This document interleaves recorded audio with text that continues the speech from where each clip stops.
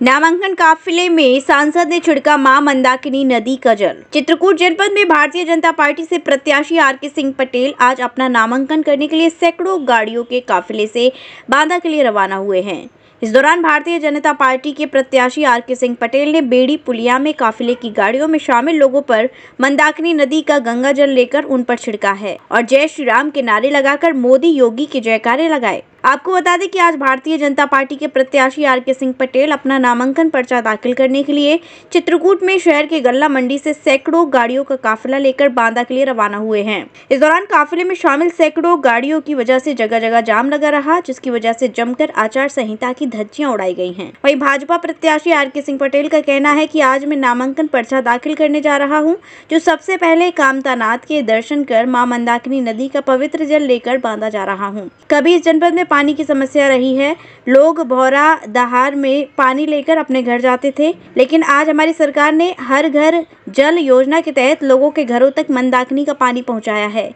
इसलिए मंदाकिनी का जल लोगों पर छिड़क कर लोगों को इस योजना के बारे में बता रहे हैं। हमें क्षेत्र की जनता का पूरा समर्थन मिल रहा है। सारे वर्गों का समर्थन मोदी जी और योगी जी के साथ है। मंदाकिनी का मैं अभी पवित्र जल लेके कामतानाथ जी के दर्शन करके और इस माँ मंदाकिनी का जल लेकर के अभी मैं आया हूँ। भोलेनाथ का दिन है। तो आज हमारे जो आराध्य यहाँ पर बैठे हुए हैं, भोलेनाथ जी माँ मंदाकिनी के घाट पे तो मध्यदेव नाथ जी तो उनका दर्शन सबका करते हुए मैं मंदाकिनी का जल लेकर यहाँ निकला और आइए तो क्योंकि वो जल, हमारा जल जीवन मिशन चल रहा है समय गाँव गाँव तो जल्द से जल्द वो पानी लोगों को घरों तक पहुँच पहुँच रहा है।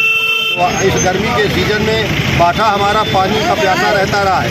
मौरा तोरा पानी गजब हो जाए, गगरी में फूटे कसम मर जाए, जहाँ के पांडे जी है, कहावत चला करती इसी मंदाकिनी का भौरा दहार का पानी लेकर के लोग वहाँ घरों में जाती केवल वही कहावत। है तो उस मंदाकिनी के जल को आज हमारी सरकार में माननीय मोदी जी ने घर घर तक पहुँचाने का काम किया है। तो आज इसलिए उस खुशी में उस मंदाकिनी के जल को हम लोगों को आज यहाँ पर अभी जो मैं भर लाया था अपने पीने के लिए वही कुछ लोगों को मैंने दिया है कि आप भी ले लीजिए जाइए। मंदाकिनी का जल आपके घर पहुँचने जा रहा है। धन्यवाद। क्या लग रहा है कितना समर्थन मिल रहा है आपको? हर एक तरफा है अपार है। मोदी जी का योगी जी का, जो दस सालों का, सात सालों का काम है, उसमें अपार समर्थन है। किसान का, गरीब का, मजदूर का, महिलाओं का, नौजवान का, व्यापारी का, कोई कोई वर्ग ऐसा नहीं है जो, कोई वर्ग ऐसा नहीं है जो इससे छूटा हो। तो इसलिए सारे वर्गों का समर्थन आज मोदी जी के साथ, प्रचंड बहुमत के साथ, फिर से मोदी जी 400 से ज़्यादा सीटें जीत करके और पूरे भारत में एक इतिहास कायम करने जा रहे हैं और विश्व में आज भारत भारत का जो है नाम हो रहा है और माननीय प्रधानमंत्री जी के नेतृत्व में गाँव का, गरीब का, किसान का, महिलाओं का, सारे लोगों का, युवाओं का आज कल्याण हो रहा है तो सारे वर्गों के लोग सब इकट्ठा है, कोई कहीं कुछ है नहीं।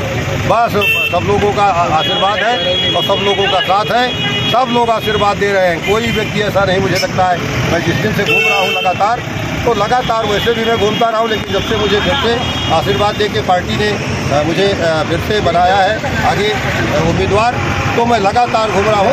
हर गाँव में एक तरफा है। सौ में अस्सी हमारा है बाकी में बंटवारा है ऐसा मुझे लग रहा है। दस पच्चीस परसेंट। कोई बात नहीं है।